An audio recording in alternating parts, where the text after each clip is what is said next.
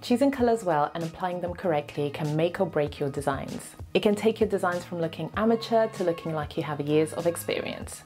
This video is the ultimate guide on how to choose the right colours for your design and apply them correctly using the 60-30-10 rule. Hi guys and welcome back to my channel. My name is Tshili and I'm a senior UX UI designer based in London. I have decided to turn my design principles video into a series where I focus on each design principle in depth. I have a video on how to use grids, which is the easiest way to improve your designs. I will link it below. In this video, we are focusing on colors. Make sure you're using these principles as a checklist when you're designing. A lot of designers have difficulty choosing the right colors and applying them correctly. This is because there are so many colors to choose from and many people don't have the right process. I've got an easy three-step process to help you select and apply colors correctly. Let's get into it. Step one is the easiest, select a main color. If you have a logo for your project or a main image, you can use that as your main color. If you don't have any of these, choose a color that you feel conveys the right meaning of the brand. For example, blue is seen as a trusted color, that is why it's used by so many large corporations such as banks. Purple can symbolize wealth and royalty, and red in other cultures can symbolize prosperity. You can just search online for colors and their meanings and choose one that you feel is right. Step 2. Create a color palette around your main color. To create a good color palette, we use color theory. This ensures that the colors you select work well together and have a good harmony. So remember back in school where you learned about primary and secondary colors, so you already know about color theory. Your primary colors being yellow, blue and red, and then you have your secondary colors which are made by combining the, the primary colors. So yellow and blue make green, blue and red make purple, and yellow and red make orange. So those are your secondary colors. Then you mix them a bit more and you then start having this hue of colors, tertiary and anything in between. And this is where you have your color wheel. So now let's look at a color wheel. Color theory can be very complex, but to keep it simple, just focus on monochromatic colors, which sometimes I use the word harmonizing. And these are the same as your main color, but in different shades. Those are your monochromatic colors. The second type of color to focus on is a complementary color. And this is one that is at the opposite end of that color wheel. To create that color palette, a total of three colors is good. So if our color was green, for example, we would select the green that we wanted and then selected a monochromatic one to go with it, either lighter or darker. You can stop there having those two hues or you can add a complementary color to to the mix. Maybe like a pinky purple. I'd stay away from like a red because then it starts to look a little bit Christmassy. So with those three colors, you then have a color palette. You can play around with it. Maybe that pink was a bit too harsh. Maybe something a bit more softer to go with that green is nicer. So up here you've got a combination of them. So Canva also has a tool to create color palettes. So just add in the color you want and it creates a color palette for you. So this tells you that, so I added a purple and these are some colors to go with it. Another inspiration for color palettes is this My Color Space website. So I've added that and then you generate and then it gives you different types of color palettes that can work well together. Remember, we're only gonna use three. Even if you like this, you would select three of them. Here are different variations of color palettes that work well together. So step three is applying the colors using the 60-30-10 rule. So this is an example of using 60-30-10. Here we have gone for a simple color palette. What is the 60-30-10 rule? It is a guideline of how much of each color you should be using. So this is gonna be a little bit confusing because your main color will be your smallest amount and then your secondary color will be in the 30% and then you're gonna use a neutral for 60%. This rule helps with decision making and it's a guideline to help you get started. Once you get more confident in your designs, you won't need it as much. And it's not a rigid rule, you just use it as a guide. For example, if you wanted to add another color into this mix, make sure you're adding it more on this side so that you're still getting a good neutral color in there. So here I wanted to add a little bit more of a contrasting color to the purple, which I have used this orangey gradient as the contrast and I've added it into the 30%. The thing that helps make your designs look clean is having a good amount of neutral color. That is a white or a dark if you're designing in dark mode. Stay away from using gray as your neutral color. So here is a design I found and as you can see this person is more of a beginner and this is the ratio of colors on this design. As you can see we've got more of this dark purple and the gray is used as a neutral and then we've got this secondary purple at maybe like 20%. So what we want to do is balance these colors out and use the main color sparingly on the most important element. Our eyes focus more on these cards and less on the play button, which is the most important action here. And here is more balanced out. So already without the gray as a background, it's looking a little bit cleaner. But because the cards still use a background color, it means that this secondary color takes up more than 30%. So let's take it a step further. And also I want to replace this purple.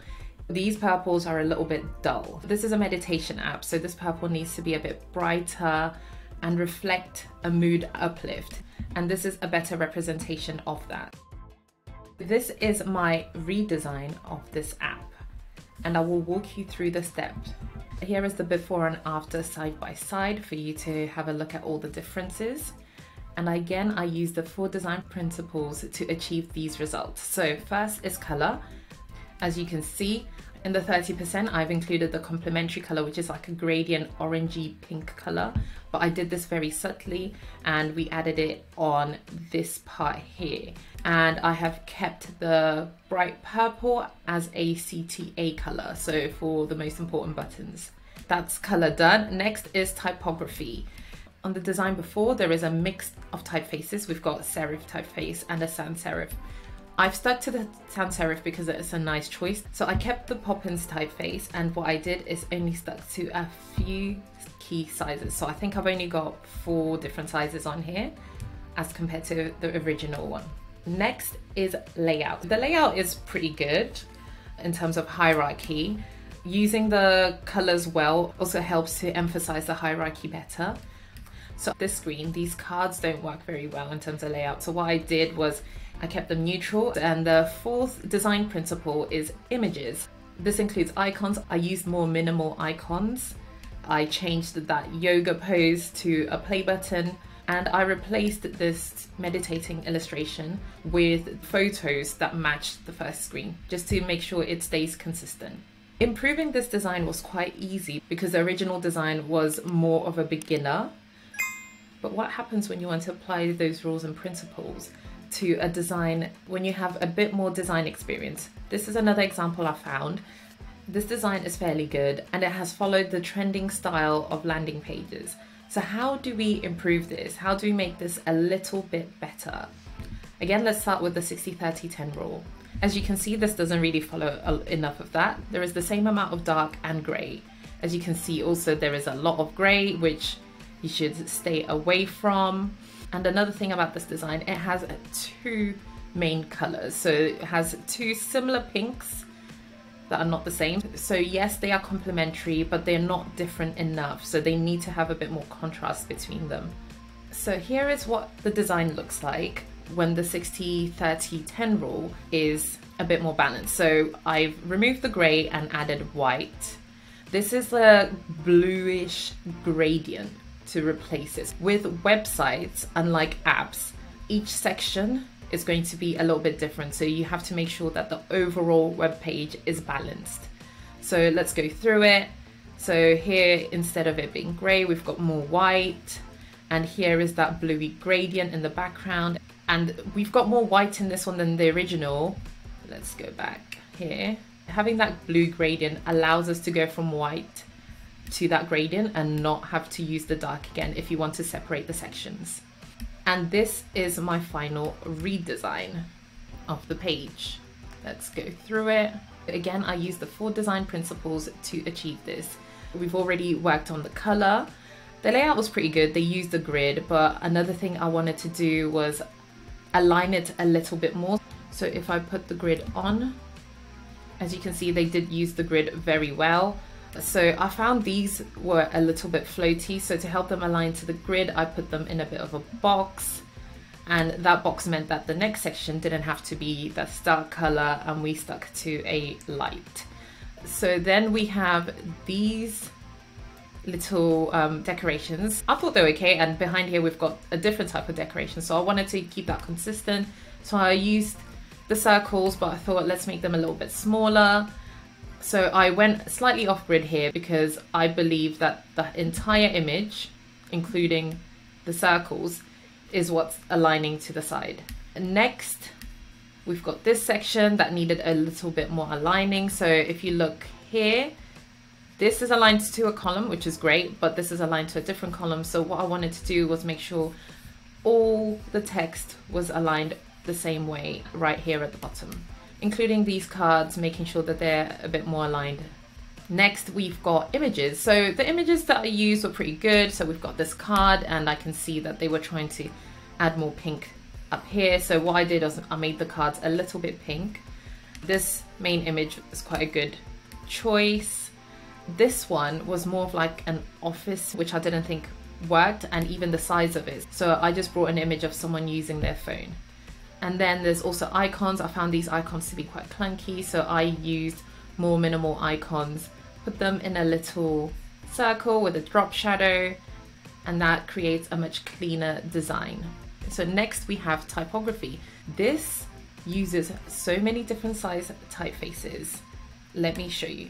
The original design uses so many different type styles in comparison to the redesign. That also contributes to making the design look slightly off in comparison to this one looking much neater and cleaner it's just a bit more harmonized. So I often get asked, how do you do horizontal grids? So you already know how to do these column grids. I should have added it to the other video, but I think it's because it's not really common practice to use horizontal grids. But I understand that as a beginner, you do need that guidance. let me show you how to do that. We're gonna add another grid on top, and then we're gonna have rows.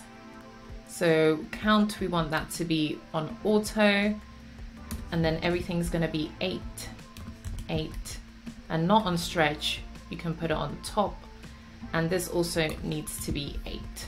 Now you've got those help you. So if you then want to add a rectangle, you know that that is the height and it should stick within the columns or like that or maybe two columns if you need it to but this helps you with the height I hope that helps. If you have found this useful, please let me know in the comments below along with any topics you'd like me to cover next. A few common mistakes to avoid when using colour. Using too much grey unless it's part of your brand. Too much grey takes away from your work looking very crisp and clean. Another one is coloured backgrounds or grey backgrounds. Obviously with websites you will have coloured section, but try to keep it simple and make sure that any other backgrounds such as form fields, make sure you keep those white.